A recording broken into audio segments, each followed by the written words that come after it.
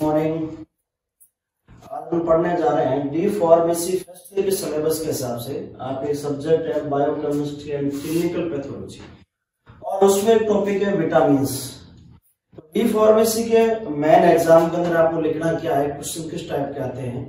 तो जहाँ भी विटामिन का नाम आएगा, सीधा सीधा तो ये कुछ क्लासिफाई द विटामिन और इसमें दो प्रकार होते हैं फैट सोल्यूबल और वाटर सोल्यूबल तो एग्ज़ाम के अंदर भी पूछ सकते हैं write the notes on the fat soluble vitamin तो आपको सिर्फ़ ये चार लिखने हैं।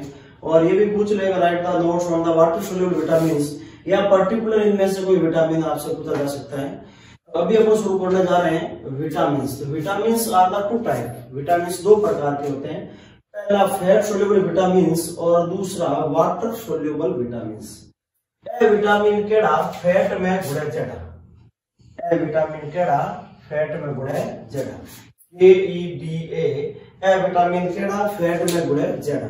Vitamin K vitamin E vitamin D और vitamin A A D E K या फिर आप कहना जैसे भी याद कर लें A D E K these are the vitamin which are the fat soluble next बात करते हैं वाटर सोल्यूबल विटामिन इसमें दो आते हैं, एक विटामिन बी कॉम्प्लेक्स इसका डिस्क्रिप्शन आगे पढ़ेंगे अपन, और विटामिन सी अब इसके अंदर आप अभी अपन पढ़ने जा रहे हैं ओनली फैट सोल्यूबल विटामिन तो फैट सोल्यूबल विटामिन में सबसे पहले आता है विटामिन ए और ये अपन सबको है कि विटामिन ए का संबंध कहीं ना कहीं आँख से होता है, आई से होता है, और आई में रेटिना होता है तो इसीलिए इसका नाम हो गया रेटिनोल रेटिनेल और रेटिनोइक एसिड यानी एल्कोहल एल्डिहाइड और एसिड के रूप में होता है। तो आप ये कह सकते हैं रेटिनॉल रेटिनेल और रेटिनोइक एसिड और ये बीटा कैरोटीन से प्राप्त होता है। ये प्रोविटामिन का बीटा कैरोटीन है सोर्स कह सकते हैं।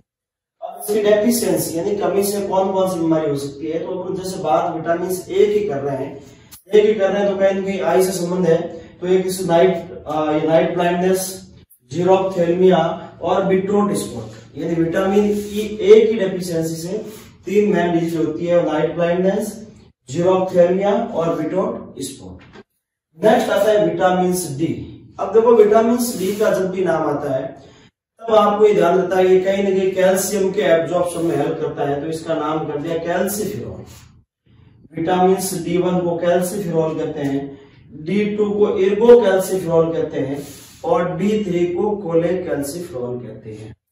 और इसकी डेफिशिएंसी से बच्चों में रिकेट्स होता है और ओस्टियोलेशिया बड़े अडल्ट के अंदर होता है।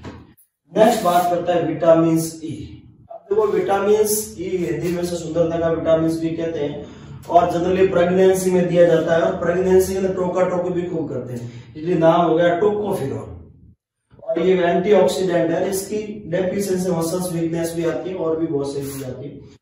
जनरली इसका नाम टोकोफिनोल हो गया एंटीऑक्सीडेंट प्रॉपर्टी होती है, और डेफिशिएंसी से मसल्स वीकनेस आती है।